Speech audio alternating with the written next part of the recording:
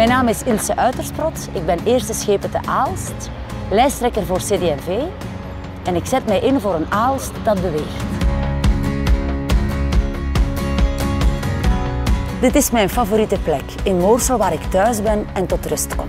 Want naast het stadscentrum bewegen ook de deelgemeenten mee op de weg vooruit.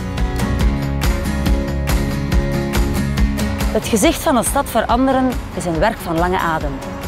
We bevinden ons hier op het Werfplein, een van de oudste pleinen van onze stad. Dat bruist als nooit tevoren. Dit is een van de vele voorbeelden dat Aalst wel degelijk beweegt.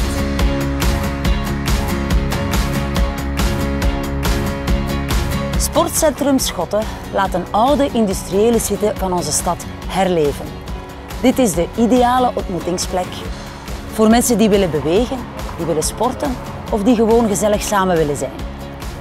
Talrijke jeugd- en sportverenigingen hebben hier een nieuwe thuis gevonden en hebben dan ook nieuwe groeikansen gekregen.